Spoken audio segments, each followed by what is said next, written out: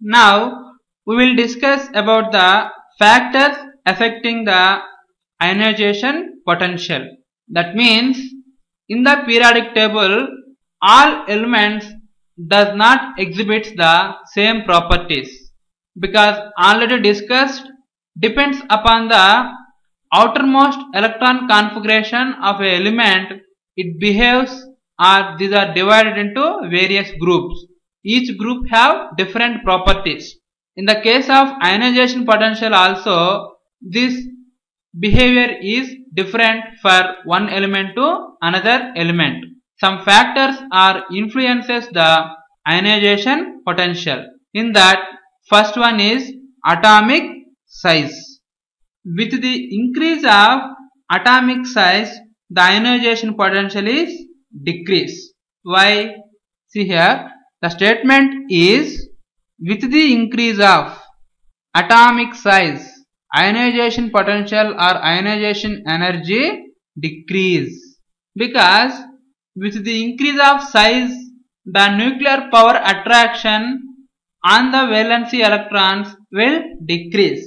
Then the removing of electron from the outer shell is becomes easy. So the ionization energy which is required to remove the electron is less. Take a simple example for the group 1 elements. That is lithium sodium potassium rubidium cesium francium for lithium the outermost electron present in 2s1 shell. For sodium this is 3s1 for potassium 4s1 for rubidium 5s1 cesium 6s1 francium 7s1 which already known. But keep on increasing the atomic number in the groups. What happens? The electron enters into the new shell. So that at atomic size is increases. That already discussed in the previous session. So for lithium you may have two shells. And sodium three shells potassium four shells rubidium five cesium six and francium seven. That means keep on increasing the size of an atom the nuclear power of attraction or the attracting power of nucleus towards the electron will decrease because the distance will keep on increasing the attracting power will decrease. And the attracting power is decreases the elimination of electron from the outer shell or valency shell becomes easy. So with the increase of size an atom the ionization potential or energy will decrease. And the next one nuclear charge. The another factor which influences the ionization potential is nuclear charge. Now greater the nuclear charge of an atom what happens when the charge is greater the attracting power of nucleus to electrons is becomes more. When the attracting power is more the elimination of electron from the valency shell becomes difficult. When it is difficult we need to apply the more energy. So the ionization energy or potential will increase. That means with the increase of magnitude of nuclear charge the removing of electron becomes difficult. Then what happens? We need to apply the more energy to eliminate or to remove the electron in the valency shell. Then ionization potential or ionization energy increases. That means nuclear charge is directly proportional to the ionization energy or ionization potential.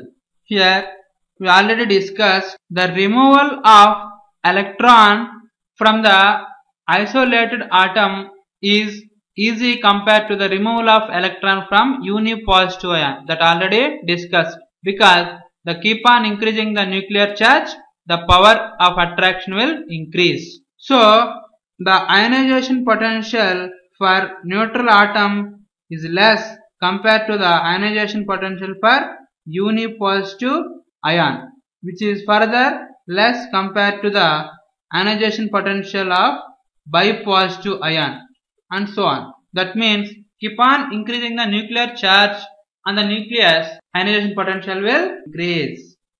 Now we'll discuss the another factor which influence the ionization potential that is screening effect or shielding effect. This shielding effect is also known as screening effect. What is this shielding effect? When you move from second period, third period, fourth period, the elements which are present in the fourth period and sixth period and so on, they are heavy elements. The number of shells uh, present in those elements are very high and the number of electrons also very high. That means in a many electron system, the valency electrons are shielded by the inner electrons. That means that inner electrons which are present in the element shields the nucleus attraction to valency electrons. This is known as shielding effect. That means here it is a nucleus and so many electrons are present in the various shells for many electron system. Suppose take a this is valency shell and these are inner shells. These all are inner shells. These electrons which are present in inner shells screens or retards the nuclear power of attraction on the valency shell. When it is retards the power of attraction, the attraction power on valency electron will decrease. That means due to shielding or screening of uh, inner shells or inner electrons of the many electron system, the power of attraction is decreases on the valency electrons. So when that attraction is less, the removing of electron from the valency shell will become easy. So with the increase of shielding effect or screening effect, the ionization potential will decrease. That means in many electron system, inner electrons are screens the screens are shields. That means retards. Retards the attracting power of nucleus on valency electrons. Due to this reason, the power of attraction on valence electrons by the nucleus will decrease. This effect is known as shielding effect or screening effect. Due to screening effect, the attraction power of nucleus on valence electrons will decrease. The ionization potential also decrease.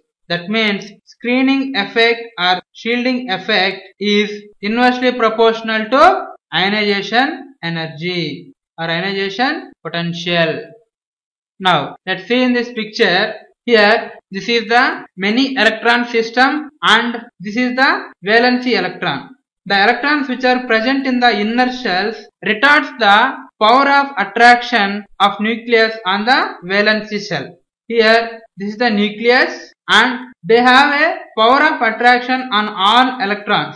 But due to presence of many electrons in the inner shells, the inner shells retards the power of attraction on valency shell. That's why the attraction power between the valency shell and nucleus will decrease. That means the attraction between the valency electron and nucleus will decrease. So you can easily remove the electron by giving the small amount of energy only. That means the ionization potential or energy will decrease that you can see in this picture when this many electron systems are revolving around the nucleus and uh, due to retardation or shielding of attraction power of nucleus on valency electron it gives the less power of attraction on valence electrons by the nucleus. So by this you can easily say with the increase of shielding effect the ionization potential will decrease.